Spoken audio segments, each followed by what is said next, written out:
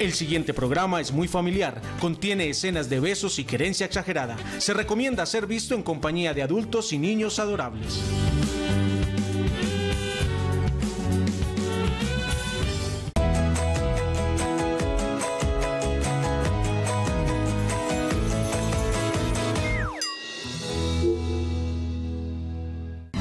Nos unimos en un arrullo para abrir juntos un camino. Yo te ayudo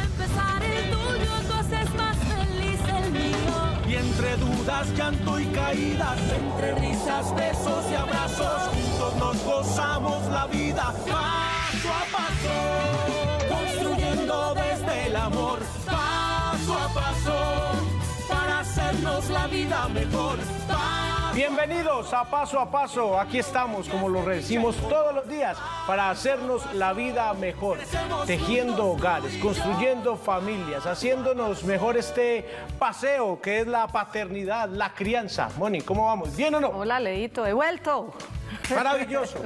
Me preguntaron ayer mucho que por qué no estaba, pues nada, aquí estoy. Hubo como asuntos logísticos que me impidieron estar en el programa, pero estoy de vuelta. Muchas gracias por los mensajes y eh, como dice Leo, aquí estamos para hacernos la vida mejor y sobre todo en este tema de las paternidades y maternidades cada vez un poco más responsables, eh, o por lo menos ese es el mensaje que tratamos de transmitir acá, desde la planeación y la toma de de ser papás. Y desde ahí empieza todo eh, el proceso como de aceptación y entre más eh, planeado, eh, acordado, porque debe ser un tema de dos, esto sea, pues el camino se hace tal vez un poco menos tortuoso, menos difícil, más disfrutable. Como decimos acá, lo padecemos menos, lo disfrutamos más.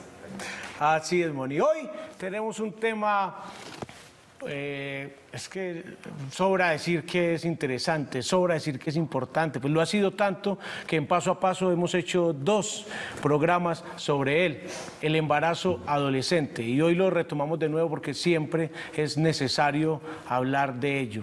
Yo me, me preguntaba, Moni, eh, pensando sobre el tema, ¿qué, le diría yo? Porque me hicieron la misma pregunta si mi hijo fuera adolescente, si tuviera mujeres, hijas, adolescentes, sobre el tema del embarazo. Y pensando en eso, eh, se, se me vino a la cabeza esto, decirles a los adolescentes que pudieran ser mis hijos, o cualquiera de ustedes que nos están viendo sus hijos, decirles a ellos sobre el embarazo adolescente que más bien queremos que tu vestido de grado sea la pinta de moda, no una toga materna.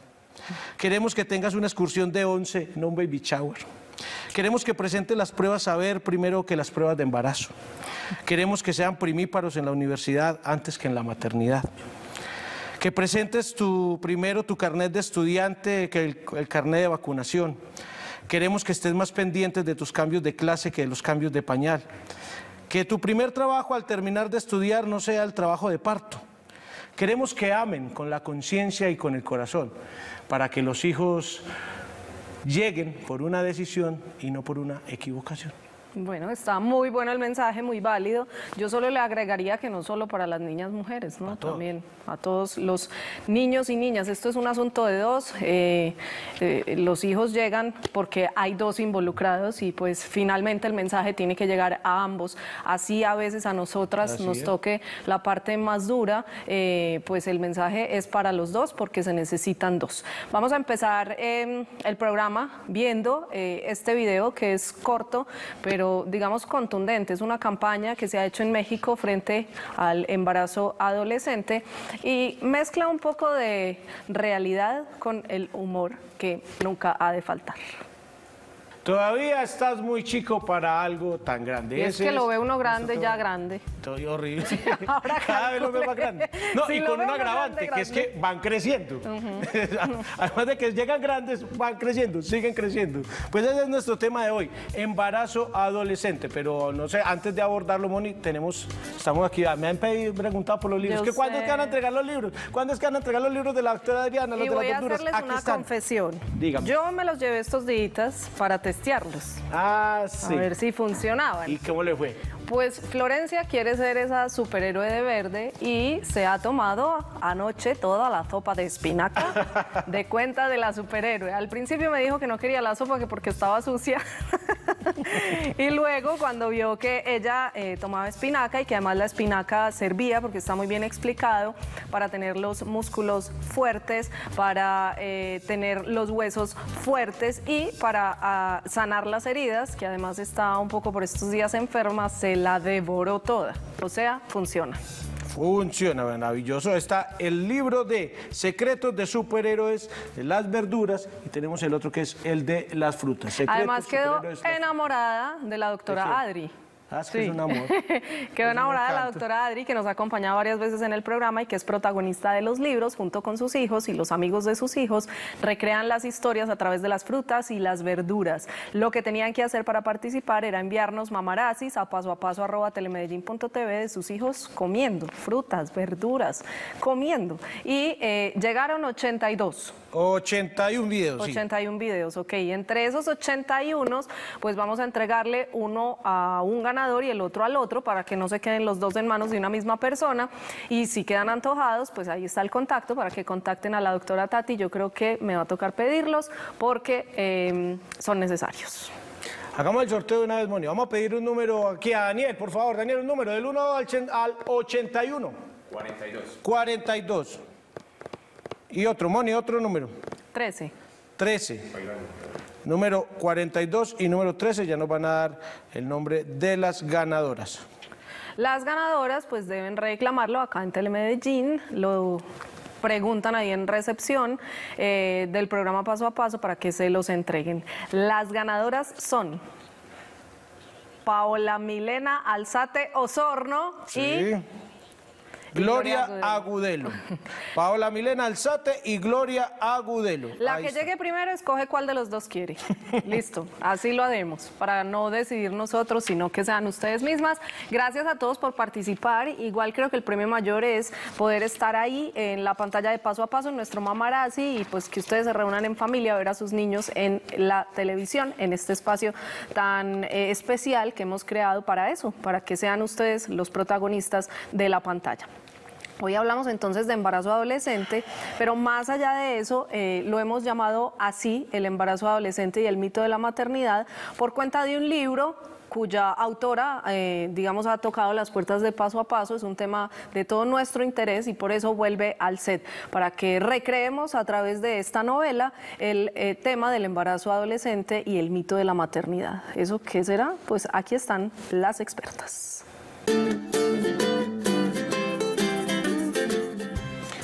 Hoy nos acompañan en Paso a Paso Sonia Gómez, ella es periodista, escritora, egresada de la UPB con diplomado en educación sexual y especialización en televisión, autoria de varios libros, entre ellos este que tenemos acá, la novela María Sola. Y además está con nosotros Luz María Gudelo, bienvenida Luz María, médica de la Universidad de Antioquia con especialización en epidemiología e investigación social, docente de la Universidad de Antioquia y el CES y además exsecretaria de salud de la alcaldía de Medellín. Y alumna de mi papá. Sí. Sí, no se le olvidó ese super título porque además fiel televidente, no se lo pierde. Crítico ¿Y qué le ha número uno de ¿Que paso ¿Cómo le a iba? paso. ¿Cómo le iba? Bien, bien. Buena alumna, buena alumna. Buena alumna. No, pues apenas voy a llegar a preguntarle. Una ¿cierto? buena alumna y un buen profesor, un excelente profesor. De eso sí tiene fama, eso sí tiene fama. sí. Pues Si no conmigo no el pudo, pero programa, hay que contigo no pudo, conmigo no que sí pudo. pudo. No, yo de estadística no le saqué era una ni- materia muy difícil, Sí, estadística. muy pero compleja. nos iba bien. Muy bien. Retomamos entonces nuestro tema. Yo decía ahora que eh, era el título del libro, pero es el tema del libro. El libro se llama María Sola. Eh, y bueno, empecemos por ahí. ¿Qué llevó a Sonia a escribir un libro sobre este tema, abordar esta temática a través de una novela? Bueno, eh, es un pretexto. Este libro, María Sola, es un pretexto para hablar del mito de la maternidad. ¿Por qué? Porque llevo eh, varias décadas, Mónica, en el periodismo. Te llevo un poquito de ventaja en tiempo. Eh, y siempre me he ocupado de este tema de las mujeres, de la equidad de género. Me parece que es un tema urgente y un, un tema que debe comprometernos a todos. En esa, en esa búsqueda, en ese trabajo, me ha impactado muchísimo el tema del embarazo adolescente, ver cómo tantas niñas, tantas eh, mujeres frustran su vida por tener un embarazo en menores de edad, de menores de, hasta de menores de 14 años. Entonces, siempre lo hemos trabajado, doctora Luz María, usted que ha trabajado tanto este tema también como secretaria de salud, se han hecho miles de talleres, de programas de todo tipo, eh, tratando de eh, explicar a la mujer y al hombre la importancia de la prevención de un embarazo no deseado, pero los resultados a veces no son los que quisiéramos. Eso hasta el punto que, sí, Mónica, que el año pasado, en 2017, hubo 5.200 mujeres en Medellín menores de 19 años que tuvieron bebés. Eso es demasiado. 2017. Eh, y eso iba a decir que campañas y talleres que parece que no dieran resultado. ¿En dónde estamos fallando? ¿Qué nos falta? Precisamente, Lu María, perdón, acabando la, la- la respuesta, entonces yo dije, bueno, tenemos que buscar otras opciones distintas a, a la conferencia, de pronto. Eh, metámonos con temas lúdicos, temas más agradables, llegar con el mensaje de una forma grata como lo hacen ustedes en este programa, que es la mejor forma.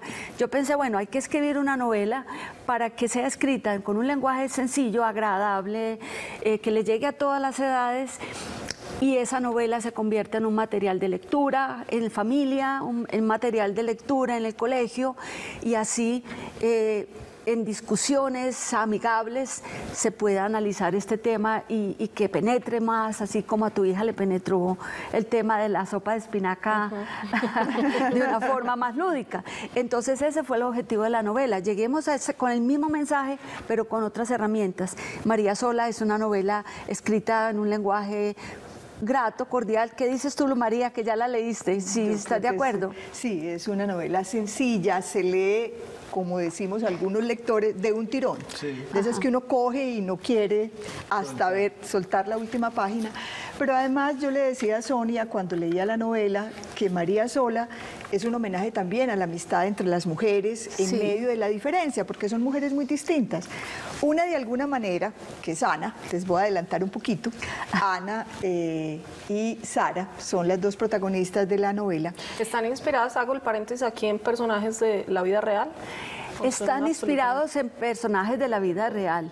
No es una copia fiel de la realidad, sino que ustedes, Claro, es una saben, novela. ustedes saben mejor que yo que todo escritor escribe de lo que conoce y debe escribir de lo que conoce para que queden las obras realmente eh, documentadas y, y bien hechas. Entonces yo escribí de lo que sabía, de lo que conocía y allí están inmersas muchas historias que me ha tocado vivir como periodista y como ser humano en estos dos, tres décadas de mujeres que han sido acusadas, mm, eh, por ejemplo, ¿se recuerdan, recuerdas Mónica el caso de la chica de Yarumal que la habían ah, condenado a 43 años de cárcel porque ella supuestamente había asesinado a su hijo al nacer eh, y ella había sido violada.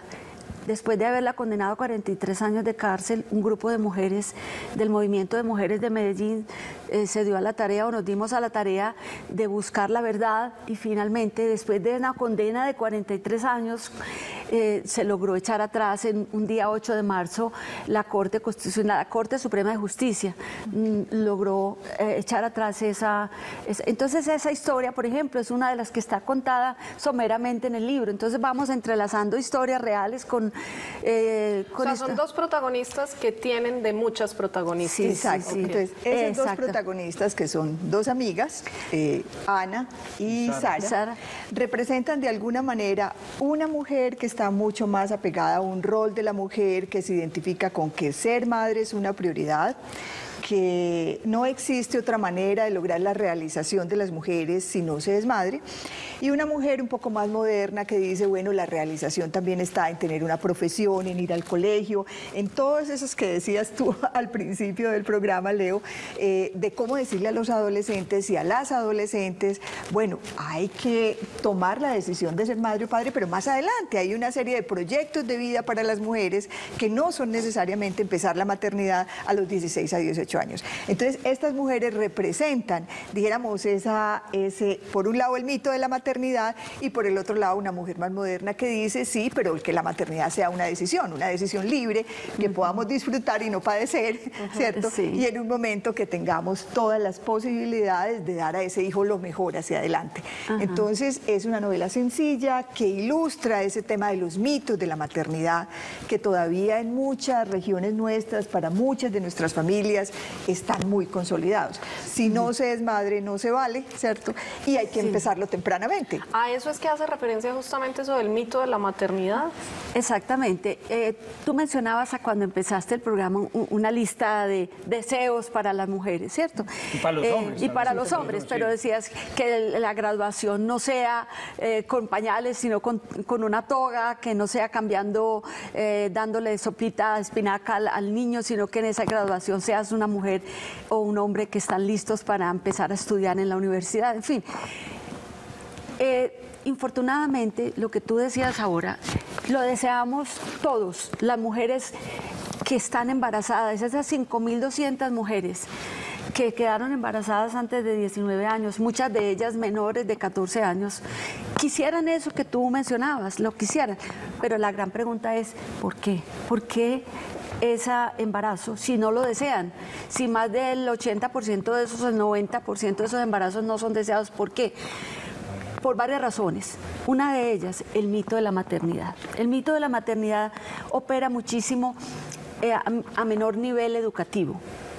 De estas 5.200 mujeres que tuvieron bebés en el año 2017, el 28% de esas mujeres eh, habitan estratos o, o sectores de nuestra ciudad que tienen menores oportunidades económicas, menores oportunidades de educación. Eh, y por ejemplo, en solamente eh, eh, el barrio popular, el 28% de esos embarazos en el barrio popular, 28%. ¿Y sabes, Mónica, cuántas en el poblado? ¿Qué, qué cifra crees? No, pues eh, sé que es muchísimo menor. Muchísimo menos. D- eh, 2%. Mientras en el Popular o en Aranjuez, eh, en estos barrios populares, más populares, donde las mujeres igualmente valiosas que las mujeres del poblado, igualmente maravillosas, inteligentes y, y brillantes, pero han tenido una educación diferente y un ejercicio de poder diferente. Entonces, en esa educación está muy arraigado ese mito de que la mamá le dice a la niña, si, eh, si no has quedado embarazada a los 19 años, o la, más que la mamá, las amigas, el, el entorno, te estás quedando sin ver la pinta, a ver dónde está la pinta, ya Me va estás... a quedar para vestir santo. Te vas a, te vas a- Sí. empiezan a presionar. Eso por un lado, la presión cultural que esas niñas eh, tienen de tener esos bebés. Y segundo, hay un mal ejercicio del poder.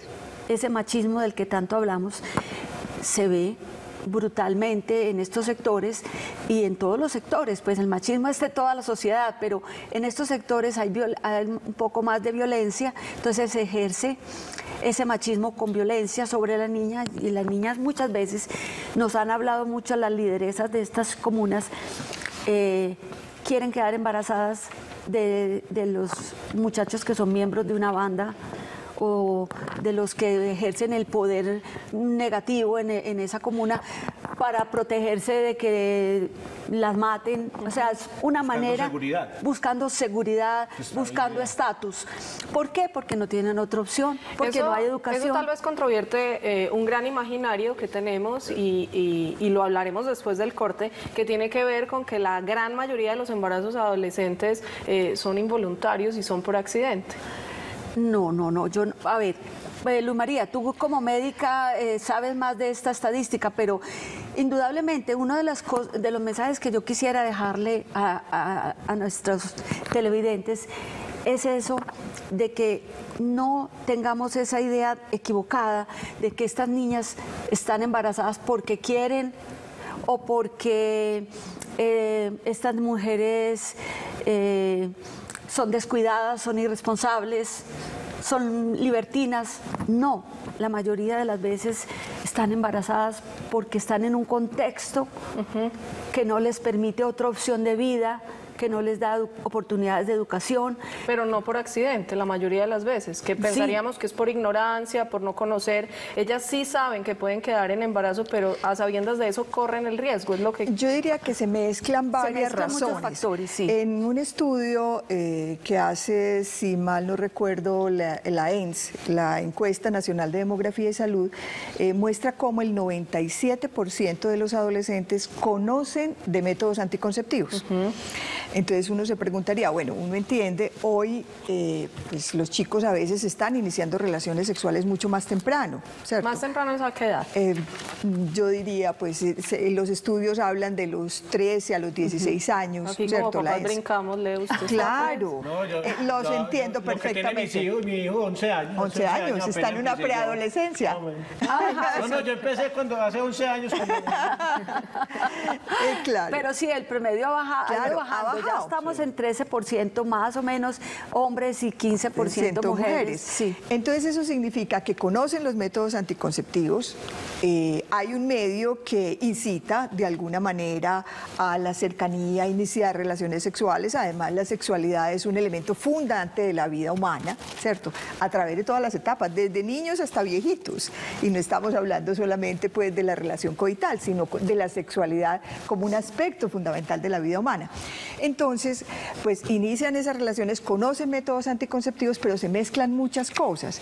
Eh, por una parte, mm, pues con quién hablamos de estos temas, a quién le preguntamos. A veces el papá y la mamá no son la mejor persona a la que uno le puede preguntar y eh, pues necesitan unas referencias, el sistema de salud, el sistema educativo, que les pueda hablar y dar educación libremente sobre eh, sexualidad de una manera abierta, de una manera científica, de una manera técnica, para que tengan esa información y cómo asumir ese reto.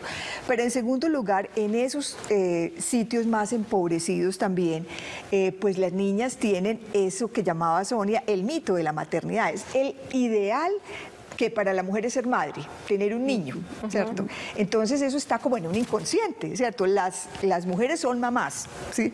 Los papás trabajan y sostienen de alguna manera la familia, ¿cierto? Eso que a nosotros en algún momento nos parece, no, pero eso ha cambiado mucho, ¿cierto? Hoy tenemos a Mónica y Leo aquí, ¿cierto? Los dos siendo protagonistas, cada uno desempeñando su profesión, ¿cierto? Que es el imaginario, dijéramos, que uno tendría de un mundo moderno, pero no es así. No es Para muchas de nuestras familias, la niña tiene que ser mamá, criar los niños y ese es un ideal que se sigue consolidando en la cultura. Yo le decía ahora a Leo que estábamos conversando, en Antioquia es un piropo decirle a una mujer mamacita, ¿cierto? ¿Cierto? Sí. Y los el- hombres dicen, "Yo la quiero para que sea la mamá de mis hijos. la mamá de mis hijos. O sea, entonces el entronizar el rol de mujer como mamá, que está como en una especie de inconsciente, hace que las niñas quieran tempranamente ser mamá, es su realización. Así como para una chica eh, de otro estrato, no, un momentico, yo quiero ir a la universidad y quiero tener mi título. Claro, y vamos a hablar detalladamente de eso porque ahora que mencionan este tema uno no creería eh, que eso fuese así, de esta manera, eh, todavía ese mito tan, tan arraigado de eh, que las mujeres necesariamente, obligatoriamente, casi que por decreto y por destino tenemos que ser mamás, pero... ¿Qué tanto eso eh, aún sigue arraigado y tiene que ver con el estrato socioeconómico? Porque si bien hoy hemos hablado mucho eh, de esas mujeres que toman la decisión de no ser mamás y no quieren ser mamás, o aquellas que retrasan muchísimo la maternidad hoy en día de cuenta de llevar a cabo primero sus proyectos personales, ahora que uno ata los cabos, esas decisiones sí las ve uno en, en estratos un poco más altos que en los estratos bajos, donde por defecto están casi que a ser mamás, ya sea por la sociedad, presionadas por la familia o por la propia convicción, porque finalmente es lo que han visto en su entorno. Nos vamos a ir al corte con el dato y ya regresamos para entrar en detalles, hablar un poco de cifras y por supuesto abordar el tema de entonces qué hacemos nosotros como papás de niños que entran en la preadolescencia, que ya inician su vida sexual, cuál es nuestro rol para prevenir el embarazo adolescente. Vamos al dato. Tiene que ver mucho con lo que nos contaba Luz María. Dice, aun cuando sea fácil conseguir anticonceptivos, las adolescentes activas sexualmente son menos propensas a usarlos que las mujeres adultas. Ya volvemos a paso a paso. Estás viendo Paso a Paso.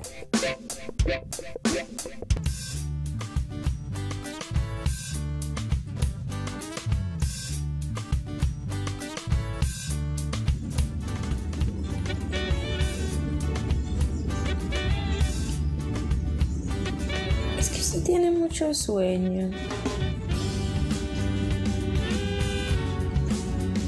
Es que usted pues no durmió toda la noche, pues ya. Ya, vámonos a trabajar.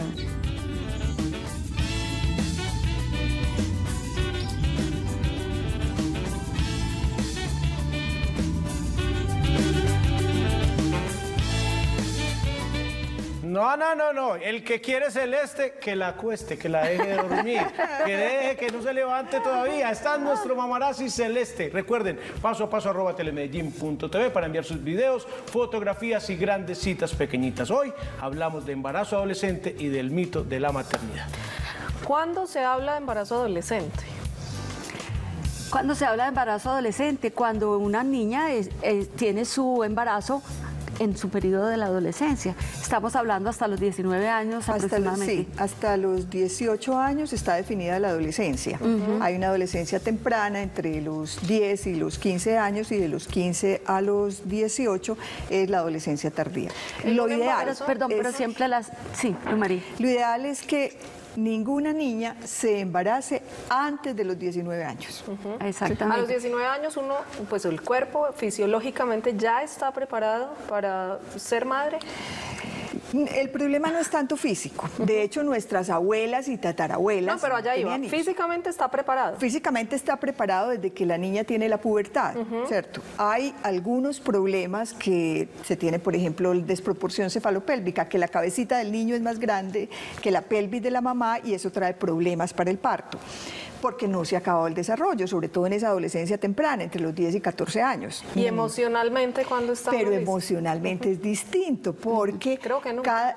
Claro, es que... Y en los cuarenta y pico. Pero bueno, uno diría, bueno, a los cuarenta y pico, cada vez, eh, dijéramos, las sociedades modernas lo que han hecho es que inician más tardíamente el inicio de la maternidad y la paternidad, porque ya hoy en día, pues no solamente queremos hacer el, el pregrado, sino el posgrado, además las familias quieren una estabilidad económica, además mayor madurez afectiva y psicológica Pero para María, criar los chicos. Perdón que lo que dijo Mónica me parece muy pertinente, muy sí. Nunca estamos preparados porque Ah, no, es que claro, mira, muchas mu- muchas parejas se pueden casar de 30, 40 años y tener su primer hijo, las mujeres se está usando mucho que sea Sí. después ya de los 30. Pero ¿de qué sirve si ese hijo ha, ha sido eh, fruto de una violencia o ha sido fruto de una presión social? por no quedarse atrás, porque no me he realizado bien como mujer si no tengo ese hijo. ¿De qué sirve si ese papá no está cumpliendo con su paternidad como está ocurriendo?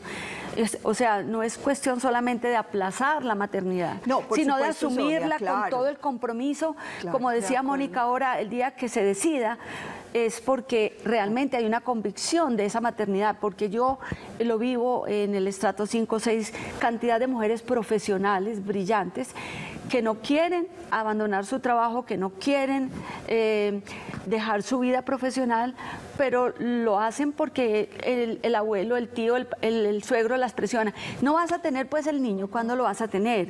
Porque no lo has tenido. Entonces muchas mujeres les pasa como como en las dinastías eh, chinas y japonesas, que la mujer tiene que tener un hijo, eh, un hijo hombre, y entonces para que, para que hereden eh, esos tronos, y entonces presionan a estas mujeres a tener hijos y las llevan a la desgracia. Entonces, ¿de qué sirve tener un hijo si no se hace con la convicción, si no se tiene con la convicción, o si no, o si a los dos años entonces este matrimonio no sirvió? Ahora, llega también un punto en el que el gran argumento de tener o no tener el hijo es quiero o no quiero, porque si uno se pone a evaluar todos los aspectos, juro que uno nunca lo tiene, que el es. económico, que el emocional, que cuando Esperar tenga que la todo esté casa, bien que cuando tenga el carro, no, uno no lo tiene, lo, lo quiero, lo queremos, que es Sí, realmente la así es. pregunta, listo, entonces hagámosle y trabajemos por ello, porque si no, uno no se arriesga a esta superaventura, a, como digo yo, a tener ese delicioso encarte todos los días junto a nosotros, un encartico delicioso. Volviendo a la pregunta de ¿qué se considera embarazo adolescente?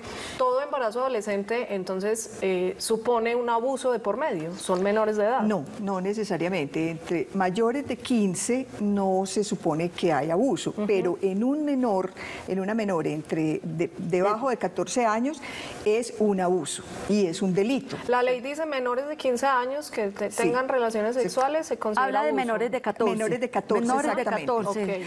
Si Ahí una- se considera un abuso y es un delito.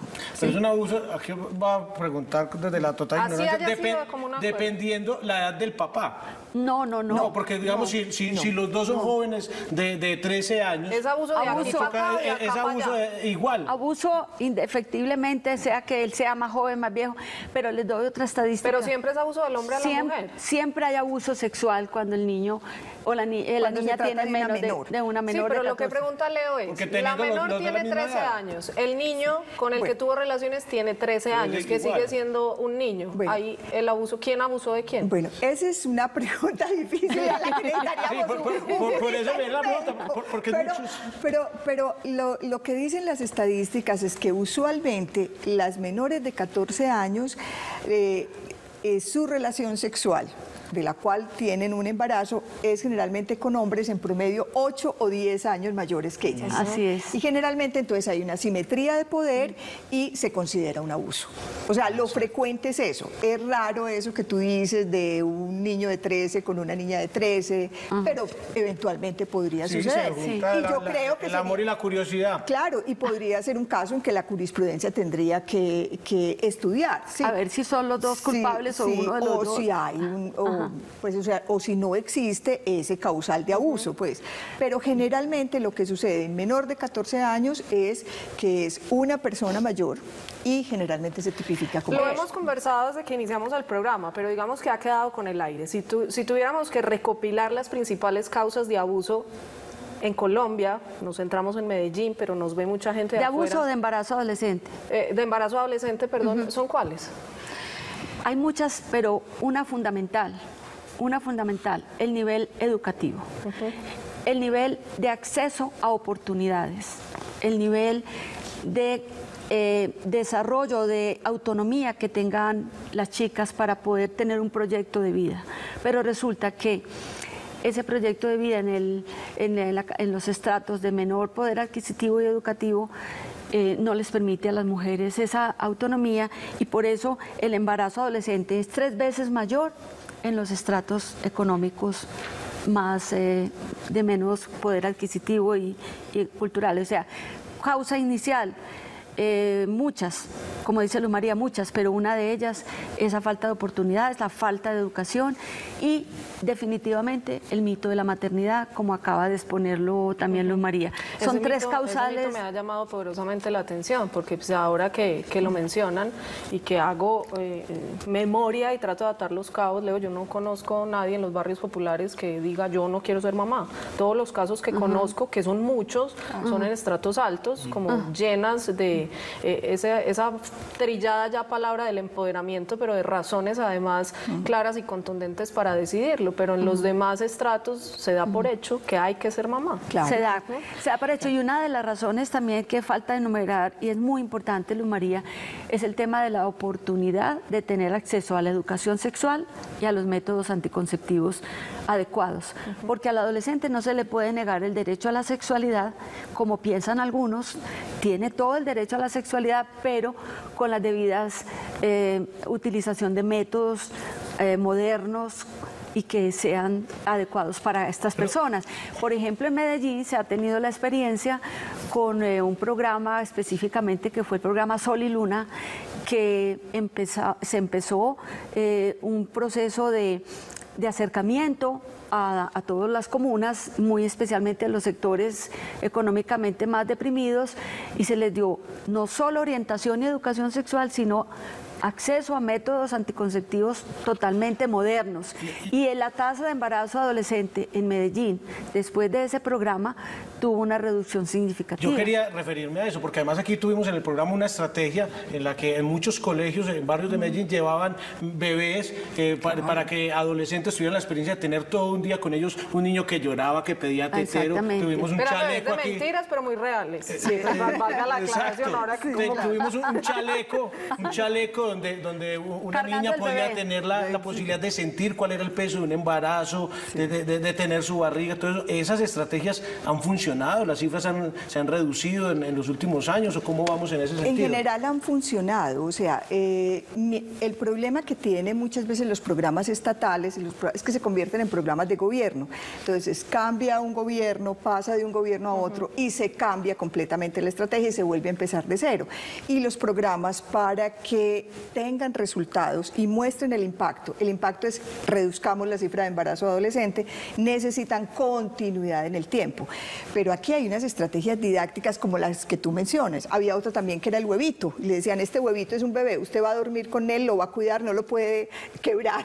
¿cierto? Entonces la chica se llevaba su huevito, tenía que dormir, que era como dormir con un bebé, cuidarlo, levantarte, estar pendiente de él.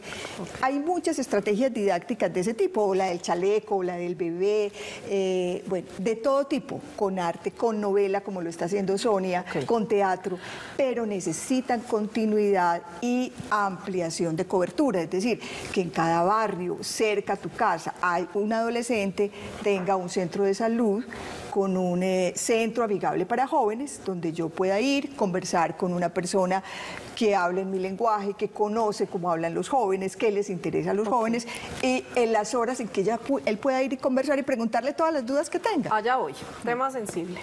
Número uno, ¿cómo acabar con el mito de la maternidad? ¿Y qué nos corresponde a nosotros los padres? O sea, en este tema eh, nos cuesta un montón llegarles a ellos y por ende a ellos llegarnos a nosotros. Ahora decías, es posible que no encontremos en los padres como la mejor opción para hacerle preguntas sobre sexo, concretamente hablando, porque la sexualidad es un concepto, digamos, un poco más amplio. Eh, pero entonces, como padres, en este programa que nos dedicamos a asesorarnos mutuamente sobre cómo acompañar a crecer a los hijos, ¿qué nos toca? ¿Qué hacemos? ¿Cómo les llegamos? ¿Cómo rompemos con el mito de la maternidad?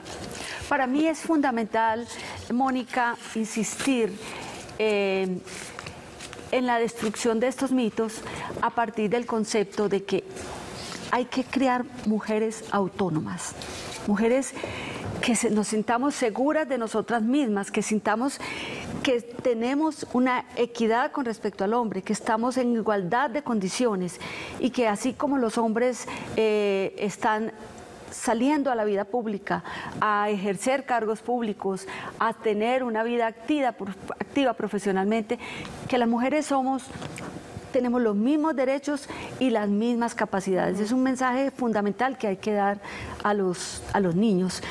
Eh, otra cosa importantísima, me decían en Profamilia, eh, en la Asamblea de Profamilia este año, que según las investigaciones que se han hecho, está muy claro que una edad definitiva para educar a las niñas y a los niños sobre ese tema de equidad, el tema de la autonomía que necesitamos, es a partir de los 10 años. ¿Por qué? Porque a partir de los 10 años el niño empieza a crear unos modelos, empieza a interrelacionarse ya más activamente en el colegio, en la sociedad. Entonces es allí donde él le quedan más arraigados esos conceptos. No es eso de que no, em- empecemos a educar al, jo- al joven cuando está en 11 o 12, cuando ya tiene 15 años, porque, o esperemos que, que tenga la vida eh, sexual activa. No, es desde los 10, obviamente desde niños, desde que nacen. Desde que nacen hay que empezar, pero obviamente con mensajes eh, diferentes. Pero el mensaje de la equidad de género, el mensaje de, de que usted como mujer es autónoma, usted no necesariamente tiene que ser madre, la maternidad no es una obligación, sino una decisión. Todos esos mensajes, empezar a dárselos a los niños, a las niñas desde pequeños y a los niños también. Y en ese sentido de dar mensajes, cuidarnos también de cuáles no dar, porque es que muchas veces, y creo que todos caemos en eso, lo hacemos sin darnos cuenta. Mira, Ah, sí. cuando yo sea abuela, que ahí Ajá. les estamos imponiendo Sí, de señor. antemano que ellos tienen Acuerde, que tener pues, que hijos quiere un hijo, para pues, hacernos felices, ¿no? Ay, ¿Te imaginas cuando yo sea abuela cómo voy a disfrutar? Exactamente. Y ellos empiezan a tragar y tragan y tragan y tragan, entonces creo que hay que hacer un poco más de conciencia, porque claro, todos estamos en el absoluto derecho de decidir si queremos o no ejercer la paternidad y la maternidad. Nos vamos a ir al corte, de nuevo lo hacemos con el dato y ya regresamos. Nuestro dato nos dice, Eh, los bebés de madres adolescentes se enfrentan a un riesgo considerablemente superior de morir que los nacidos de mujeres de 20 a 24 años. Ya volvemos, a paso a paso. Estás viendo Paso a Paso.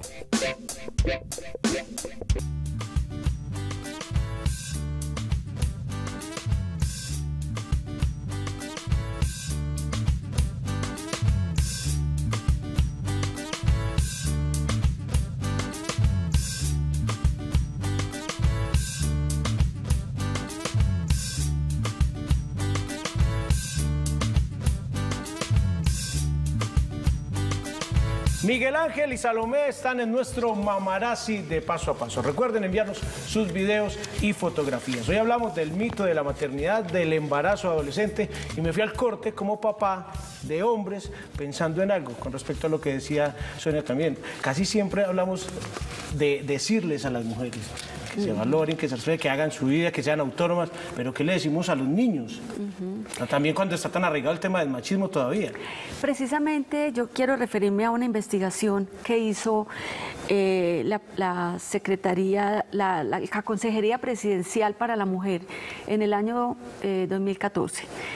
Esa investigación quiso detectar cuáles son los mitos que todavía están vigentes en nuestra cultura y que están afectando eh, precisamente impactando eh, la violencia contra la mujer, que están impactando el embarazo adolescente.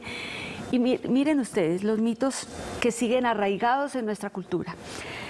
Para ser hombre de verdad hay que ser aguerrido y valiente. Ese es un mito que prevalece en un 20% de nuestra población colombiana. En hombres y mujeres, que es lo peor, Mónica, es que los mitos no están en los hombres, los mitos están en hombres y mujeres. Eh, eh, al hombre se le cría bajo el concepto de que debe ser aguerrido, valiente y, y que debe ser duro. Sea Y el guapo, no llore. No llore. Ese es un mito que hay que desterrar de nuestra crianza. Otro mito, el papel de la mujer es quedarse en la casa y cocinar para la familia. Cerca del 20%. Si fuera solo hasta la mitad, le omitiéramos el cocinar. Yo me quedaría. Ah, a, mí, a mí hace rato me sacaron de la estadística. A mí me toca meterme a la cocina también. partir ajos a mí y me partir toca, cebollas sí, también no. y Y lo llorar. hago con mucho gusto además. Pero es verdad, es pero verdad. les cuento. Mónica decía, ¿qué, hacemos entonces para que vamos a un periodismo propositivo? Porque desgraciadamente las estadísticas todos los días en los noticieros de televisión vemos la estadística de niñas eh, violadas, asesinadas, de, feminicidios. Pero los noticieros y los programas no son como este, no pasan de ahí. Los titulares casi diarios, si ustedes observan las noticias, eh, cualquiera de nuestros noticieros nacionales encabezan otra niña violada, otro niño eh, asesinado. Ayer me dolió profundamente cuando mostraban una niña que había sido secuestrada y la liberaron y decía, tiene 12 años, está en perfecto estado de salud, está embarazada, como si fuera, está feliz. Está embarazada con la...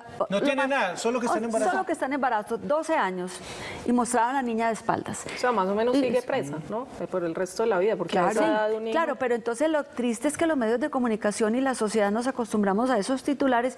¿Y qué estamos haciendo? Miren ustedes el otro mito. mito el mito de la, eh, la responsabilidad de la reproducción es solamente de los hombres. El, más cerca del 40% de hombres y mujeres opinan que la cuidarme de un embarazo es cues- cuestión femenina, no es cuestión de ambos. Mitos que hay que derrumbar. Todos estos son mensajes, Mónica, que tú puedes y ustedes pueden No, es reiterar en este programa todos los días. Frecuentemente veo una para que no me cuidó. Claro. Otro mito, la mujer que sigue con el hombre que le pega es porque le gusta. Mito arraigado, tanto en hombres como en mujeres. Miren ustedes, hay mucho por hacer. No sigamos repitiendo cifras de que hay 5.200 embarazadas en Medellín de menos de 19 años en el 2017. Digamos, bueno, ¿qué vamos a hacer? Empecemos por derrumbar mito tras mito. El primer mito, la maternidad. El segundo mito, eso de que el hombre eh, nació para ser dominante, porque la mayoría de los embarazos en nuestro medio eh, son por violencia. Ok.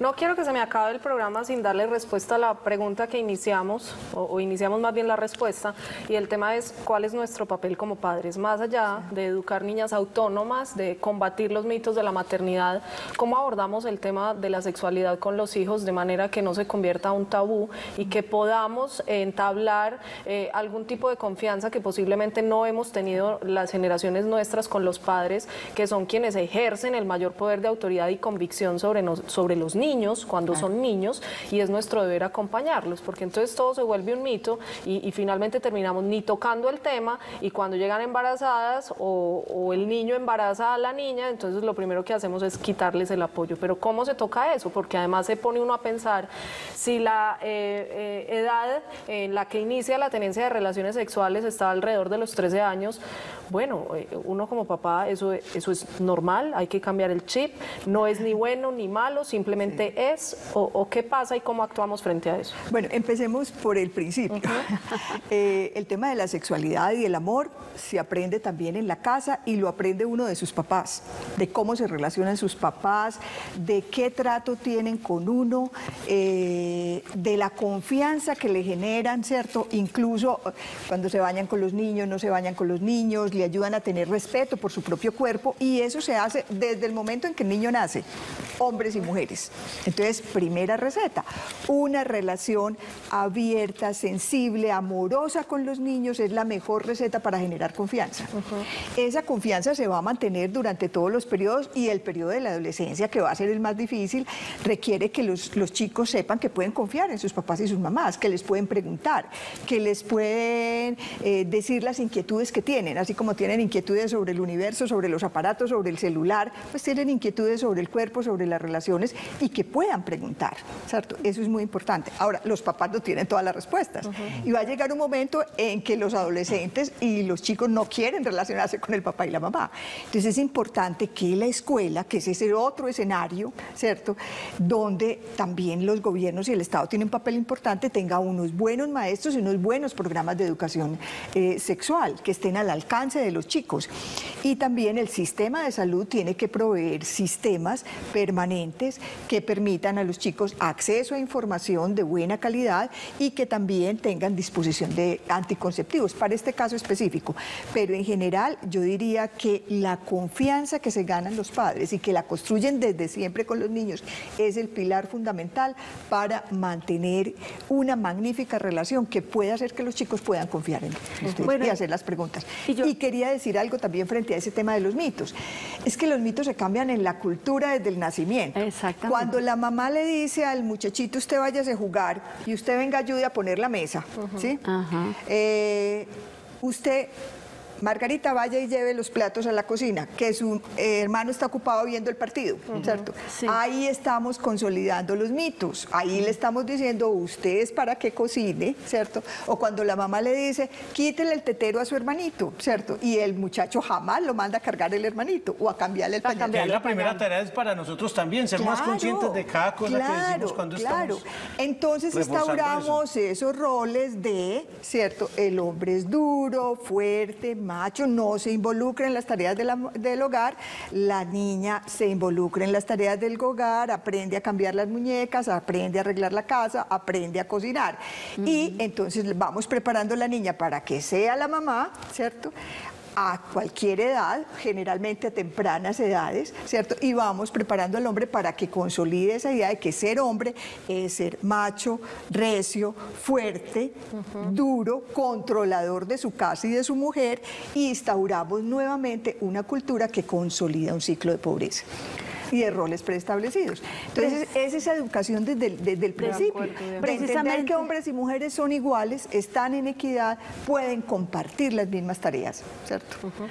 Precisamente lo que hablábamos ahora eh, cuando yo les decía que eh, según las investigaciones de Profamilia, la edad de 10 años es fundamental para empezar ya a hablar de roles de género, de, del tema de, de- ya más directamente del tema de la sexualidad, porque hasta antes de los 10 años, como acaba de expresar Luz María, el mejor, eh, la mejor educación es el ejemplo en casa, es eh, lo que tú dices, que no se muestre en ningún momento una inequidad entre los dos sexos, eso de que a las niñas solamente le regalan muñecas y venga a, a cambiarle el pañal a la muñeca, hay que erradicar esto. Pero ya a partir de una edad un poco más avanzada, 10, 11 años, que ya el niño o la niña eh, tienen capacidad para entender otros temas un poco más avanzados, ya sí se puede entrar directamente en el tema. Por ejemplo, eh, eh, del- por el uso del preservativo. Yo recuerdo que a mi hijo, cuando cumplió los 12 años, yo les, le enseñé a usar el preservativo. Eh, yo he trabajado muchísimo el tema del SIDA, he estado muy sensible por el tema del SIDA desde que empezó la epidemia, entonces me familiaricé con las charlas sobre el, el uso del preservativo en las conferencias que hemos dictado pues, en todo el país. Así que para mí fue muy fácil. Pero dirán muchos, eso no es alcahuetería. No, por favor. Delgada línea, ¿no? Sí, A Anticiparlos, Mira, darles ideas, eso es darle ideas. Eso es lo Dices que, mucho, eso es darle ideas. Esa es la una corriente que todos conocemos que hay en el país. eh, que, por ejemplo, cuando eh, la secretaria, la ministra de Educación quiso eh, colocar en, el- en los colegios unas cartillas de educación sexual, eh, prendieron los gritos en el cielo y dijeron que eso iba a pervertir a la juventud. Es una corriente ultraconservadora que persiste en el país y que ahora está muy vigente, que consideran que hablar de sexualidad es incitar a, a la sexualidad, a, a- a la promiscuidad.